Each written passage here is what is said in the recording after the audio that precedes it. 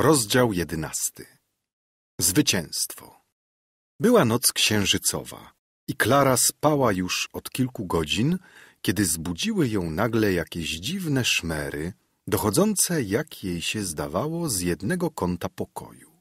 Wydawało się, że drobne kamyki padały na podłogę, a od czasu do czasu odzywały się odrażające świsty i piski. Ach, to myszy, myszy wracają! Zawołała przerażona Klara i chciała obudzić matkę, ale słowa uwięzły jej w gardle i nie mogła zdobyć się na najlżejsze poruszenie. Ujrzała bowiem króla myszy, który wydobył się z trudem przez otwór w murze, a potem biegał po pokoju z błyszczącymi oczkami, potrząsając swymi siedmioma koronami na głowie. Ale przerażenie jej doszło do szczytu, kiedy król myszy potężnym susem wskoczył na mały stolik, który stał u jej łóżka. Hi, hi, hi.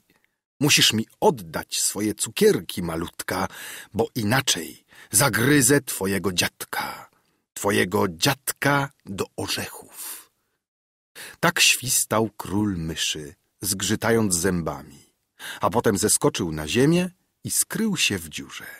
Wypadek ten tak przestraszył Klarę, że nazajutrz wstała z łóżka niezmiernie blada i bardzo niespokojna. Nie mogła niemal głosu wydobyć.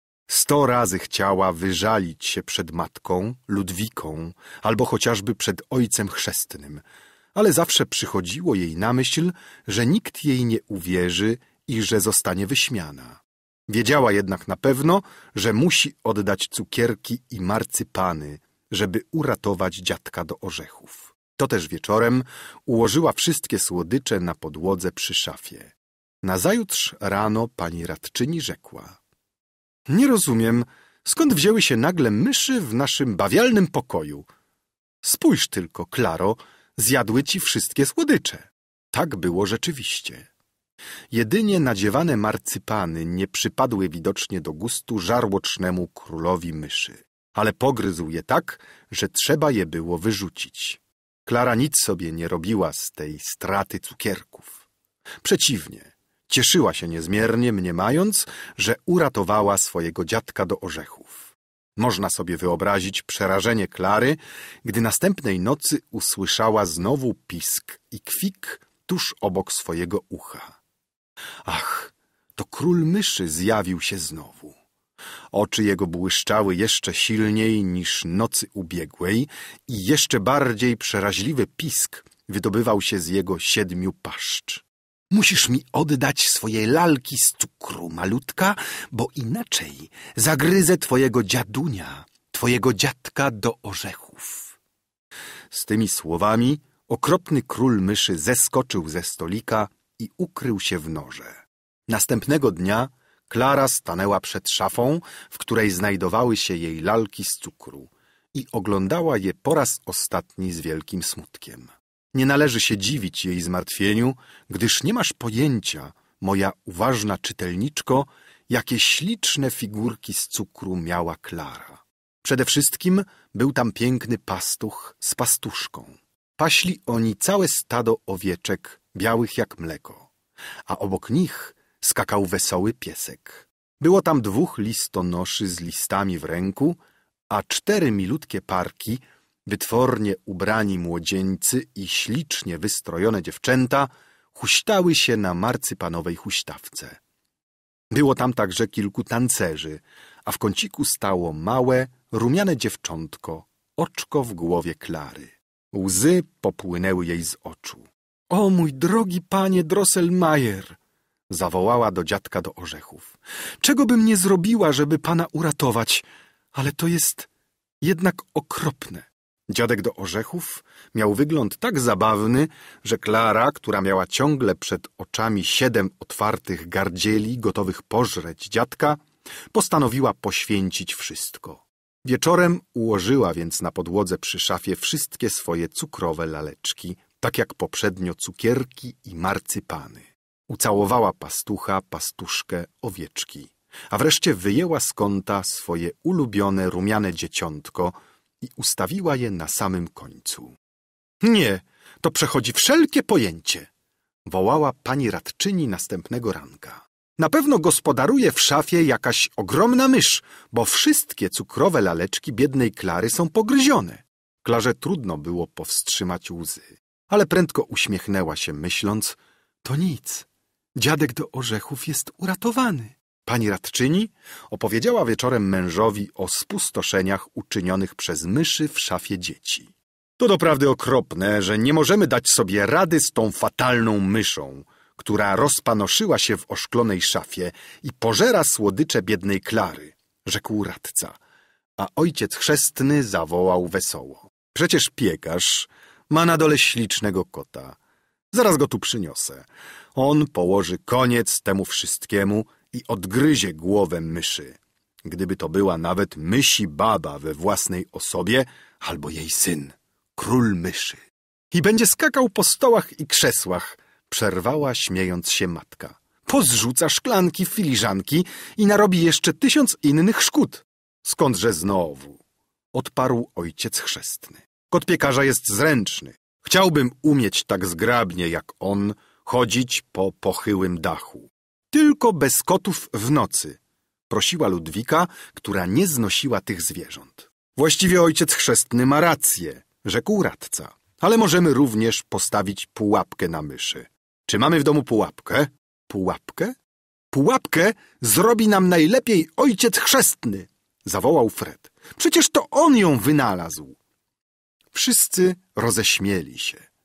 A ponieważ pani radczyni nie miała w domu pułapki, ojciec chrzestny zaofiarował się, że ma kilka u siebie i kazał natychmiast przynieść ze swego mieszkania doskonałą pułapkę na myszy. Fred i Klara przypomnieli sobie dokładnie opowiadanie ojca chrzestnego o twardym orzechu. Kiedy kucharka przysmażała słoninę, Klara drżała na całym ciele i odezwała się do niej, jakby to ona była królową z bajki o Pirlipacie. Strzeż się królowo myśli baby i jej rodziny. A Fred wyjął szable i zawołał. Niech tylko przyjdą, już ja im pokażę. Ale nic się nie poruszyło ani pod kominem, ani na kominie. A kiedy sędzia uwiązał słoninę na cienkiej nitce i cichutko ustawił pułapkę przy szafie, Fred go ostrzegł. Uważaj dobrze, ojcze chrzestny i świetny zegarmistrzu, żeby ci król myszy jakiegoś figla nie spłatał. W nocy biedna Klara miała okropne przejścia. Czuła zimne dotknięcia wzdłuż ręki, potem coś chropowatego i obrzydliwego przylgnęło do jej policzka, piszcząc straszliwie. Obrzydliwy król myszy siedział na jej ramieniu. Czerwony ogień zionął z jego siedmiu szeroko rozwartych gardzieli.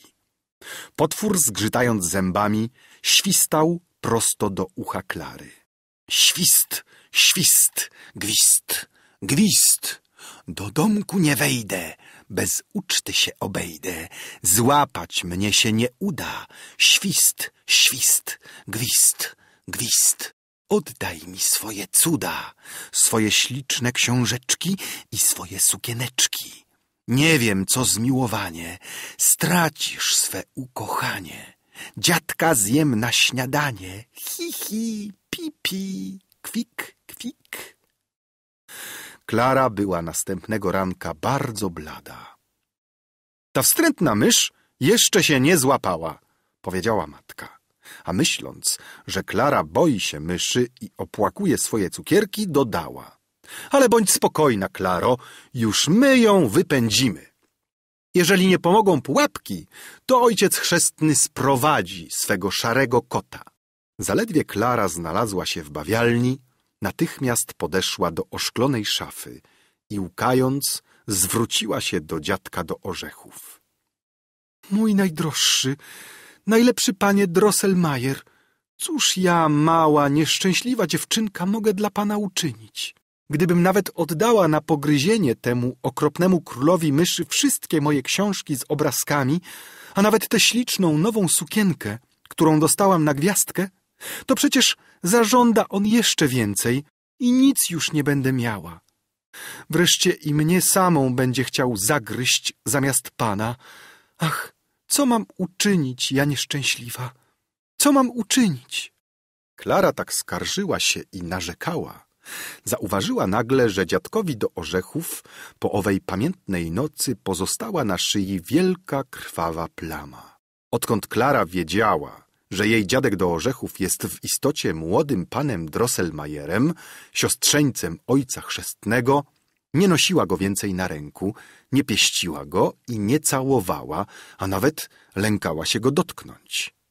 Ale teraz ostrożnie wyjęła go z szafy i zaczęła ścierać mu chustką do nosa krew z szyi. Jakież było jej zdziwienie, gdy nagle poczuła, że dziadek w jej ręce stawał się coraz cieplejszy i zaczął się poruszać. Gdy prędziutko odstawiła go na półkę, usta jego zaczęły się otwierać i zamykać, aż wreszcie dziadunio wyszeptał. Ach, moja droga przyjaciółko, ileż pani zawdzięczam! Nie poświęci pani dla mnie ani książek z obrazkami, ani gwiazdkowej sukienki. Tylko niech mi się pani wystara o pałasz, tylko o pałasz. Reszta należy już do mnie.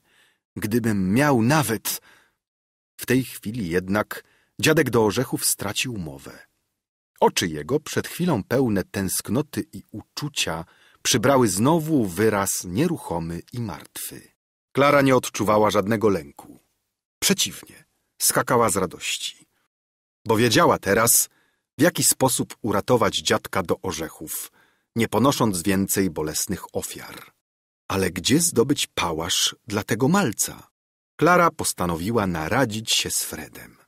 Wieczorem, kiedy rodzice wyszli z domu, a dzieci same siedziały w bawialni obok oszklonej szafy, Klara opowiedziała bratu wszystko, co się jej wydarzyło i w jaki sposób może uratować dziadka do orzechów.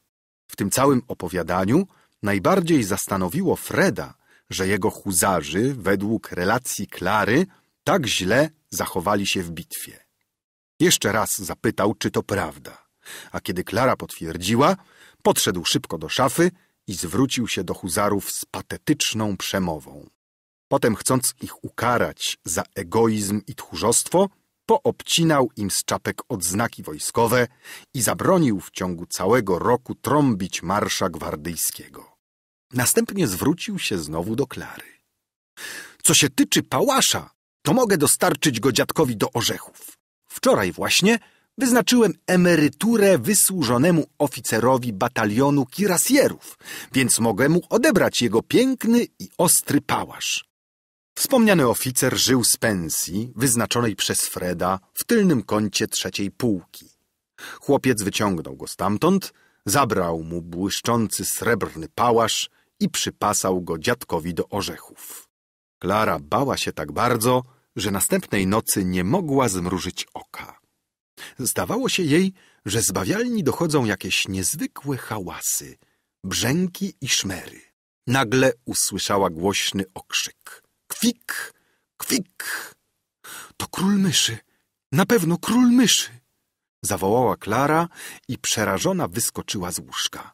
Naokoło panowała już cisza zupełna. Ale wkrótce usłyszała cichutkie pukanie do drzwi i delikatny głosik. Niech pani spokojnie otworzy. Przychodzę z dobrą nowiną. Klara poznała głos młodego Drosselmajera. Zarzuciła prędko sukienkę i natychmiast otworzyła drzwi. Dziadunio stał za progiem, trzymając w prawej ręce zakrwawiony pałasz, a w lewej woskową świeczkę. Gdy spostrzegł Klarę, ukląkł na jedno kolano i odezwał się do niej. O pani! Tobie jednej zawdzięczam, żeś pokrzepiła moją odwagę rycerską, a ramieniu memu dodała siły, bym mógł pokonać zuchwalca, który śmiał z ciebie szydzić. Chytry król myszy leży zmiażdżony i pławi się we własnej krwi. Zechciej pani przyjąć z rąk rycerza oddanego ci aż do śmierci ten dowód zwycięstwa i nie wzgarć tym darem.